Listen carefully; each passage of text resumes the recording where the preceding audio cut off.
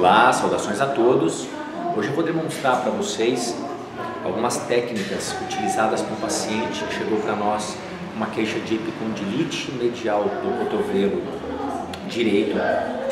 É, na avaliação do paciente foi identificado uma disfunção também da coluna cervical, onde o paciente apresentava um quadro tanto sintomatológico, ou seja, doloroso, alguns padrões de movimentos, principalmente de extensão e rotação lateral direita, e também limitação da amplitude de movimento.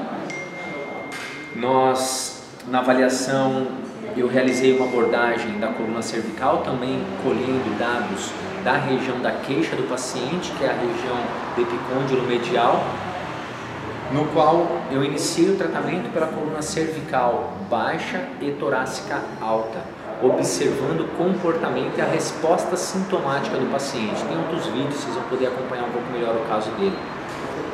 É, e ao voltar e reavaliar a área do sintoma, houve uma melhora cerca de mais de 50% da dor. Ou seja, na região in loco da queixa do paciente da epicôndilo medial, realmente existia uma disfunção local, uma tendinopatia ali local, uma epicondilite na região, uma irritação ali do tendão, dos flexores, na inserção do epicôndilo medial. Porém, esse é um paciente que, se nós tratássemos ele somente olhando no cotovelo, é um paciente que nunca iria zerar.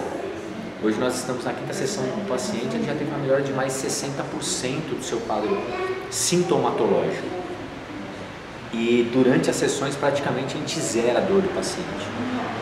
Então nós aí iniciamos com um trabalho de reforço muscular, uma série de outras técnicas de tratamento, também de eletro, termo, fototerapia, enquanto houver sintomas em bloco, e também técnicas de abordagem da coluna cervical.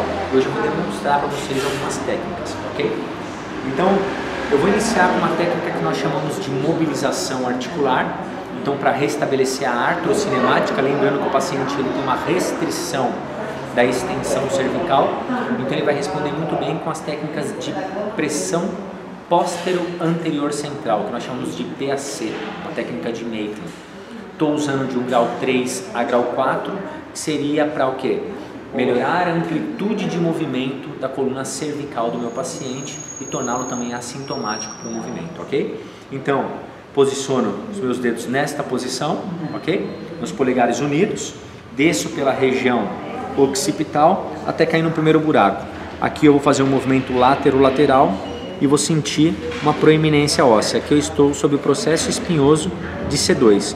Tomo contato com a borda lateral do meu segundo metacarpo, de ambos os lados da coluna cervical, tá? pegando a massa muscular e então eu vou realizar um movimento no sentido póstero anterior.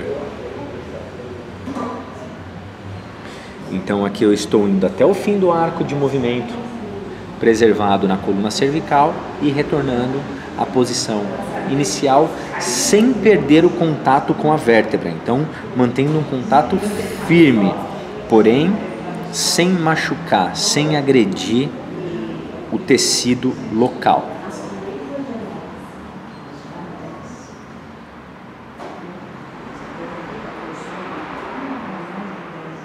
Aplico essa técnica aproximadamente 30 segundos a um minuto e caso o paciente tenha alguma dor ou desconforto local, ele me avisa, tá? Mas, porém, não existe uma irritação tecidual à palpação local.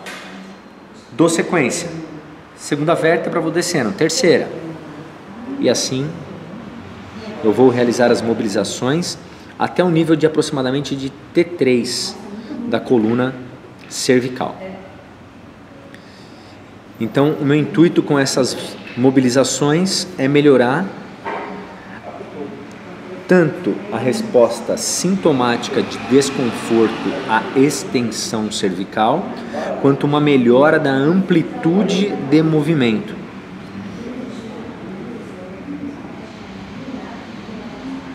Então aqui está bem evidente que eu estou trabalhando, se tiver boa angulação, se precisar pegar de lado, tá? Vai ficar melhor com um grau 3 de mobilização. Então vou até o fim do arco e volto. Vou até o fim do arco e volto. Vou até o fim do arco e volto.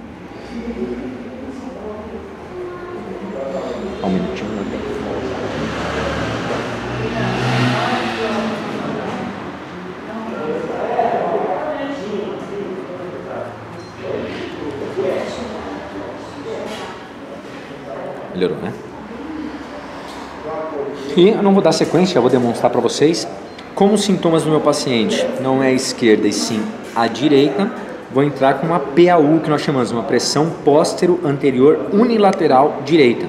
Do processo espinhoso aqui, eu venho mais lateralmente e vou pegar o pilar ósseo à direita do meu paciente. Localizei e vou mobilizar. Então, a PAU direita, com uma pressão póstero anterior unilateral à direita. Então, abordando o lado sintomático do meu paciente.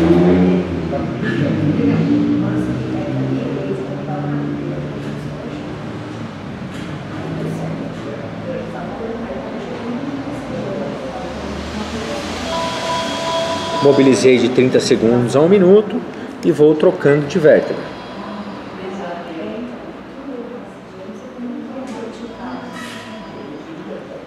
Ok? Volta aqui para mim. Então essa é uma demonstração para vocês de algumas das técnicas que nós utilizamos para tratamento do paciente com uma epicondilite medial do cotovelo. Por quê? Porque o paciente apresentou ao exame clínico inicial disfunção da coluna cervical com influência nos sintomas de forma descendente, com influência nos sintomas do cotovelo. Por isso a abordagem cervical baixa, principalmente cervical baixa, no caso aqui eu estou mobilizando a cervical como um todo, tá? E também utilizando técnicas de manipulação da coluna vertebral, umas técnicas de quiropraxia.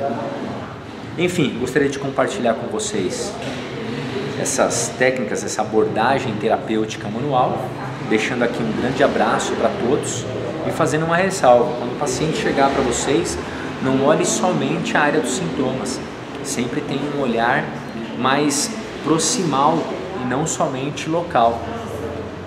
Quando a gente fala mais um olhar mais proximal, mais axial. Então, os pacientes com queixas em membros superiores, um olhar para a coluna cervical, torácica alta. Os pacientes com queixa de membros inferior, um olhar para a coluna lombar e região sacral. Ok? Fica aqui um grande abraço a todos. Quem não é inscrito, inscreva-se no nosso canal, deixe seus comentários e até a próxima.